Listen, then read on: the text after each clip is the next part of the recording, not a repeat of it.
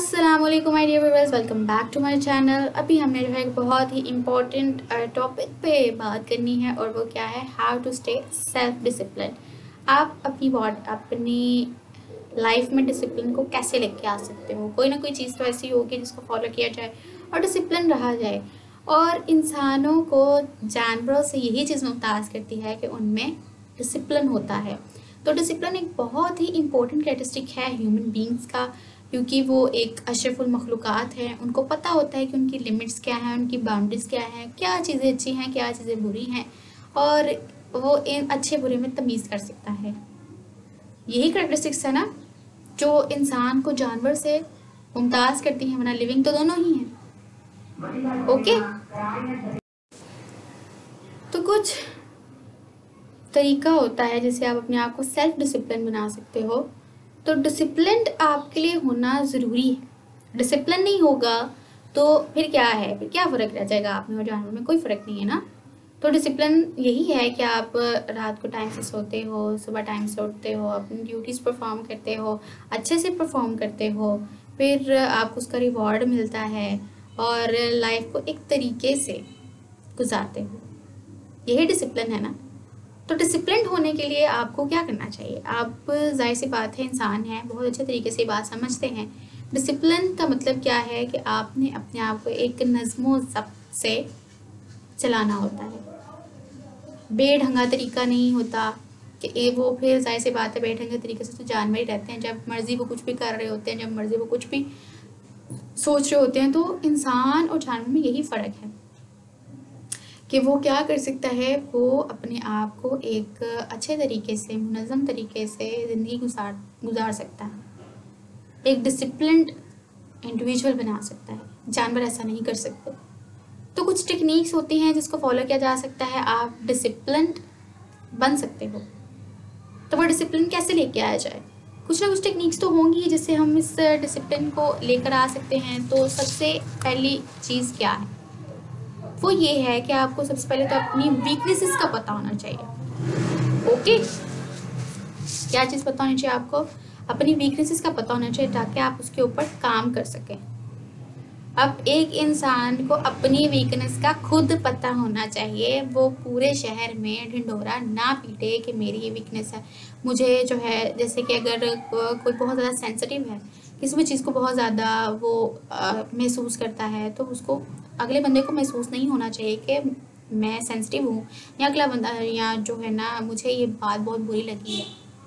हाँ जहाँ पे शो करने की ज़रूरत है, वहाँ पे शो भी करें, क्योंकि इसी तरह से फिर आप एक कह लो कि सेंसिबल इंडिविजुअल के ला सकते हो, लेकिन ज़्यादातर अगर आप बहुत ज़्यादा इमोशनल हैं तो अपने इमोशंस को थोड़ा कंट्रोल करें, अगले अगले बंदे के सामने, क्योंकि इसका बाद में फिर जाके अपनी आपकी वीकनेसेस का आप फ़ायदा उठाना शुरू कर दिया जाता है लोगों की तरफ़ से और आपको इस बात का फिर आइडिया हो जाता है कि अपनी वीकनेसेस अपने तक ही रखना बेहतर है, बजाय इसके कि उसका पूरे शहर में ढिंडोरा पीटा जाए। ऐसा नहीं करना। अपनी वीकनेस को जान के उसके ऊपर काम करते हैं ताकि उसको दूर किया जा सके। ओके तो अपनी वीकनेसेस को दूर करना है आपने। सबसे पहली बात, कि वीकनेस दूर होगी तभी तो आप अपना जो आपके पास, आपने फॉलो करनी है रूटीन उसको फॉलो कर सकोगे ना। जैसे कि अगर आपकी वीकनेस है कि आप अगर टीवी शोज़ देखते हो तो अगर देखते हो, उसको देखते ही चले जाते हो तो इसकी एक वीकनेस है, इसको दूर करना चाहिए। क्योंकि इससे आपका गोल इफ़ेक्ट होगा। एक डिसिप्लिन बंदे के पास कोई ना कोई गोल ज़रूर होता है, जिसको वो फॉलो करता है। कोई भी गोल हो सकता है भाई। वो आपकी अपनी चॉइस है कि आपने अपनी लाइफ में क्या अचीव करना है।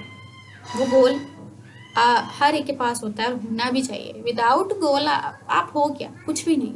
तो हर एक इंसान का गोल होना चाहिए।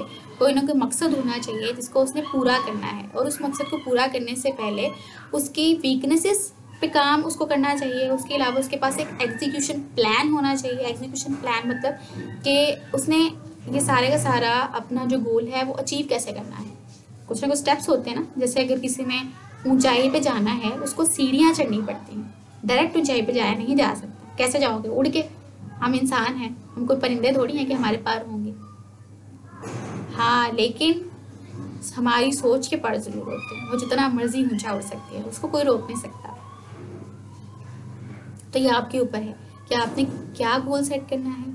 उसको अचीव करने के लिए आपने क्या स्ट्रैटेजी क्या प्लान बनाना है? और उसके ऊपर आपने काम कैसे करना उसके ऊपर काम तभी होगा जब आप आपकी वीकनेसेस पे काम होगा। ओके तो अपनी वीकनेसेस को आपने दूर कर लेना है सबसे पहले बात। अपने आप को डिसिप्लिन में ले आना है। जैसे कि कोई बंदा सेल्फ डिसिप्लिन नहीं भी है उसमें डिसिप्लिन है ही नहीं है। डिसिप्लिन वो नहीं रहता। तो वो अपने आप को डिसिप्लिन बनाने की कोशिश करे। कोशिश करने से कुछ भी हो सकता है ना? ऐसा तो कहीं नहीं लिखा कि अगर आप कोशिश नहीं करेंगे तो आ, कुछ भी नहीं होगा। कोशिश करने से कुछ भी हो सकता है। Nothing is impossible the word itself says I am possible okay तो आप, आपको अपनी वीकनेसेस का पता होना चाहिए, बिल्कुल। थर्ड पॉइंट क्या होगा कि आपने सेल्फ डिसिप्लिन लेके आना भी अपने, जैसे मर्ज़ी लेके आओ सेल्फ डिसिप्लिन लेकर आओ। अपने आप को समझाओ, लेकिन अगर आपका गोल ऐसा है कि जो आपको मजबूर कर देता है डिसिप्लिन होने पे तो वो आपका दी बेस्ट गोल है। वो आपने समझो कि वो आपका बिल्कुल एक पाथ है जो आपने फॉलो करना है और आपने सक्सेसफुल हो जाना है। क्योंकि गोल एक ऐसी चीज़ है जो इंसान को डिसिप्लिन होने पे मजबूर कर देता है। तो इंसान के पास गोल ज़रूर होना चाहिए जिसको भी उसने अचीव करना है। ओके उसके बाद अपने आप, अपनी जो है ना, आपने न्यू हैबिट्स अपने अंदर लेके आनी होती हैं। जब आपका गोल इतना पावरफुल होगा कि आपको वो बैठने नहीं देता होगा ना तो अपने अपने अंदर आपकी नई हैबिट्स खुद ही आ जाएँगी। कुछ आप कोशिश भी करोगे, कुछ आपके अंदर वो खुद ब खुद चीज़ें डेवलप होना शुरू हो जाएँगी। ओके उसके अलावा फिफ्थ पॉइंट क्या है कि आपने अपनी विल पावर को चेंज करना है, कि आपकी जो सोच है ना विल पावर के बारे में कि विल पावर नाम हमने बड़ा सुना हुआ है विल पावर विल पावर का मतलब क्या है? ये कि जो चाहो, आप हासिल कर सकते ज़रूरी ये है कि आप की अंदर से या आपका दिल उस चीज़ को कितना फॉलो करता है, कितना पैशनेटली फॉलो करता है, या किस तरह से आप अपने आप को चला के तो मंजिल तक लेके जाओगे।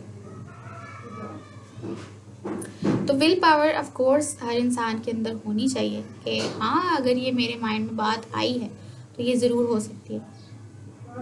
क्योंकि जब ज़िंदगी की इब्तदा हुई तो जो इतनी डेवलपमेंट आज हम देख रहे हैं, पहले तो नहीं थी। कैसे हुई? यहाँ से हुई ना? तो जो यहाँ है, वो दुनिया में हो सकता है। सो प्लीज़ पॉजिटिव वे में पॉजिटिव चीज़ों को लेके अपने पॉजिटिव गोल्स को अचीव कर लें। हाँ लेकिन गोल ज़रूर ऐसा होना चाहिए जिस, जो सिर्फ़ और सिर्फ़ आपकी ज़ात तक महदूद ना हो। इससे एटलीस्ट दुनिया में कुछ तो इम्पैक्ट क्रिएट हो पॉजिटिव इम्पैक्ट क्रिएट हो। जैसे कि पहले अगर देखा जाए तो लोग कम्युनिकेट कैसे करते थे? जो दूर दराज लोग होते थे, उनके रिलेटिव दूर होते थे, कैसे कम्युनिकेट करते थे? By post post letters letters को पोस्ट किया करते थे। फिर किसी ने सोचा कि भाई कोई ऐसा ज़रिया होना चाहिए कि ये कागज़, पेंसिल और ये सारी चीज़ें जो है वो कम ही यूज़ हो। या फिर कुछ ऐसा तरीका हो कि घर में बैठ के, जिस टाइम पे दिल किया, उस टाइम पे बात कर ली। टेलीफोन आ गया। फिर किसी ने देखा कि जी जो जहा ये जो परिंदे उड़ रहे हैं, हम भी वैसा उड़ना चाहते हैं। जहाज़ बन गया। फिर क्या हुआ कि ये जो बात हम लोग करते हैं ना जैसे अगर किसी के पास कोई भी मैसेज है, जैसे this is a message that I am conveying to you तो कोई ऐसा सोर्स होना चाहिए कि ये बात लोगों तक पहुँच जाए, जो किसी की लाइफ पे अच्छा पॉजिटिव इम्पैक्ट क्रिएट कर सके। तो उसके लिए कोई सोर्स होना चाहिए। इंटरनेट आ गया। ओके? तो चीज़ें बहुत सारी हैं देखने के लिए, बहुत सारी टेक्नोलॉजीज़ हैं, बहुत सारी चीज़ें हैं जो कि जिन्होंने हमारी लाइफ को आसान किया है। तो ये सारा कुछ किसकी वजह से हुआ गोल की वजह से, जो हम जैसे इंसानों का गोल था कि हाँ ऐसा होना चाहिए। कोशिश की कामयाब हो गए। लोग लाइट नहीं थी पहले। तो एडिसन साहब ने क्या किया था? सोचा था कि बल्ब होना चाहिए, कोई रोशनी होनी चाहिए जो all the time source of light का। हज़ार कोशिशें करने के बाद उसने बल्ब बनाया। बन गया ना? क्योंकि कोशिश करने वालों को कभी हार नहीं होती। आपको भी कोशिश करते रहना चाहिए अपने गोल्स को अचीव करने के लिए। अपने आप को डिसिप्लिन पर्सनालिटी बनाना चाहिए। ऐसी पर्सनालिटी बनाना चाहिए जिसे दूसरे फॉलो करना चाहें। अभी तक तो आप दूसरों को फॉलो कर रहे होंगे, लेकिन खुद को ऐसा बना लो कि आपको फॉलो करना चाहे कोई। पॉजिटिव बना लो अपने आप को। डिसिप्लिन बना लो अपने आप को। गोल ओरिएंटेड पर्सनालिटी बना लो। तो इन कामयाबी आपकी ही होगी। आई होप कि आपको टॉपिक पसंद आया है। और आया है तो अपना फीडबैक ज़रूर दो। और thank you so much next में मिलेंगे आपको नेक्स्ट वीडियो